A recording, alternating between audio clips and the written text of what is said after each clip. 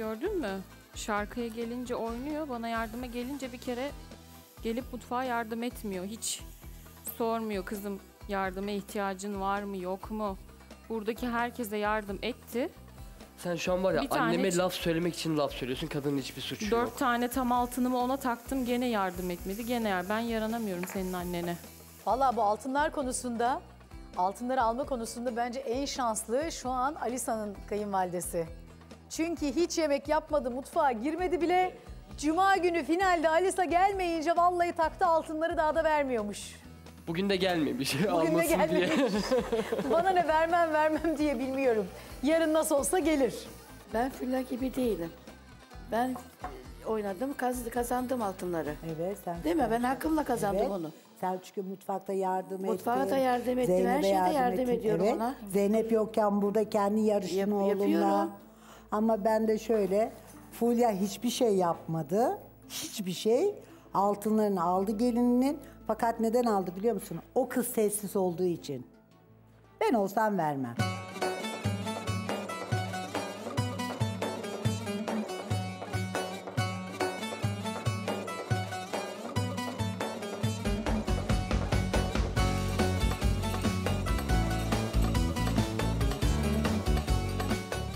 Emeği, onun hakkı.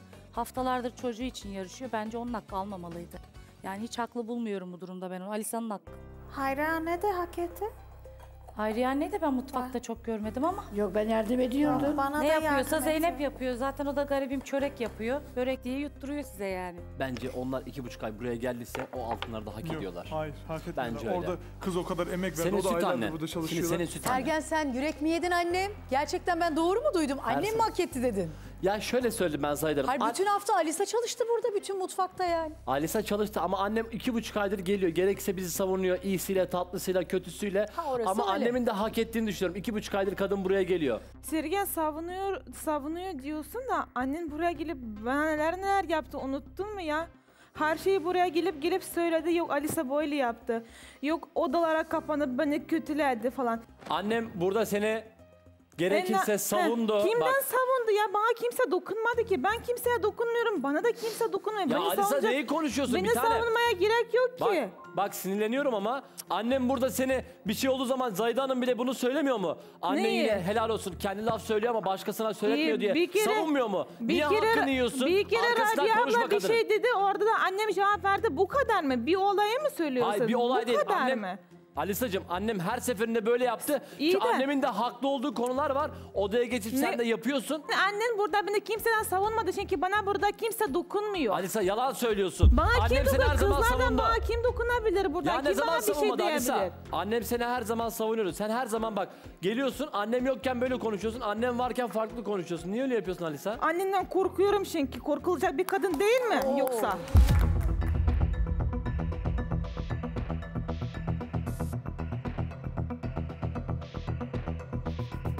Valla müthiş itiraf. Gelin kaynanasından ne kadar korktuğunu itiraf etti. Gerçi biz onu biraz görüyoruz. Korkma demeyelim de çekiniyorum de bence daha doğru bir cümle olur. Alisa terbiyeli davranıyor. Hem sayıyor hem korkuyor. Sergen sen karının kıymetini bileceksin. Bu kızın burada kimsesi yok diye kusura bakma. Ay Rabia Hanım siz bunları söylerken aynı şeyi kendinizin de yaşadığını farkında mısınız? Yani Şiva'nın da burada kimsesi yok. Hani bu Evet. söylediklerinizi Ama çevirin şimdi Şiva'ya şöyle aynı Zahide şey Hanım, bak. Bakın Şiva'nın kimsesi yok ama ben Aynısını Şiva'ya Şiva'ya diyorum yapıyor. ki. Savunuyor evet, ya, aynısını Şiva'ya sen yapıyor. öğren Yanlış. Hayatım, istediğini yapalım. Sen, yok siz de yapıyorsunuz şimdi Ya Allah yapıyorum için. yapmıyorum ne bir şey Ha. öğrensin yapalım. Hani bu söylediklerinizi aynen bak bir ne olur bir sessizlik bir düşünün bak. Bu arada şu an nasıl maydanoz kesilmez onu görüyoruz. Yok Zahide Hanım. Nasıl kesemedin o maydanozu? özel kesim yapıyorum. Özel İnce ince kesim. evet. Valla özel yapmasan daha iyi olacak ama sen bilirsin. Özel Peki, kesim yapıyorum. Şimdi size bir soru. Yani hepimiz bir gün kayınvalide olacağız Allah nasip ederse de. Gelinler kayınvalideden korkmalı mı, çekinmeli mi? Yoksa arkadaş gibi mi olmalı? Anne kız gibi mi olmalı? Yoksa gelin kayınvalide başka bir şey bir mesafe mi olmalı? Zahide Yetiş ATV sayfasına yazar mısınız? Lütfen bekliyorum.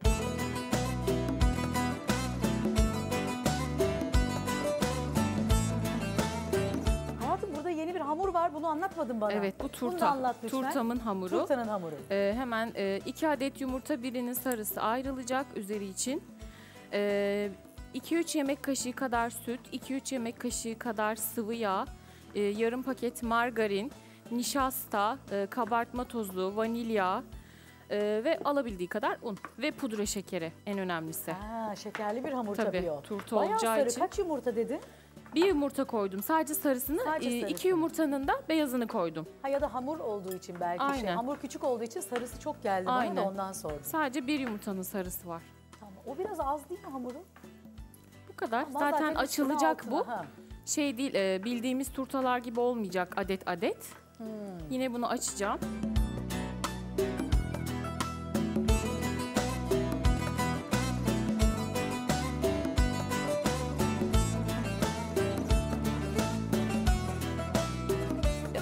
Hızlı aşkım. Hızlı diyorsun sonra. Hızlı değilsin ama hayatım. Tamam ne yapayım? Hızlı değilsin Ben yani. hamurla ben oynayayım gel sen doğra. Ben oynamıyorum. Hamuru Ben bir saattir yoğuruyorum. hamurla Farkında mısın oynuyorsun bilmiyorum. ya. Yoğuruyorum. Hamur- Oynamak ne demek ya? Kendine gel istersen biraz. Sen çocuk oyuncağı zannediyorsun herhalde. Canım benim orada hamurla oyalanırken bana her şeyi hızlı Ben yap diyorsun. oyalanmıyorum. Ya hamuru açıyorum farkında mısın? Yani bir biber doğrayacaksın sadece. Yapacağım bu. Yapamazsan bırak. Ben tek başıma mücadele edebilirim. Peki bu hamur sert bir hamur mu olacak, yumuşak bir hamur mu Yumuşak olacak? zaten böyle belli. Bakalım final nasıl olacak? Hamurumuzu yuvarlak yapacağız. Kenarlarını inceltelim.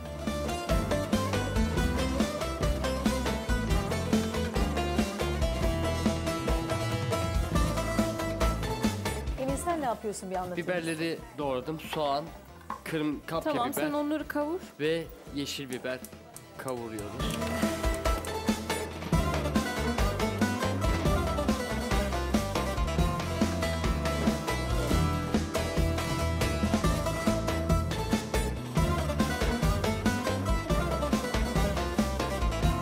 Kızlar bakın burayı önemseyin. Tamam mı? Ne yapacaksın? İçine ortasına bir şey koyup kapatacak kenarlardan. İç harcında da 2-3 tane elma, tarçın, toz şeker ve fındık. İsterseniz ceviz de kullanabilirsiniz.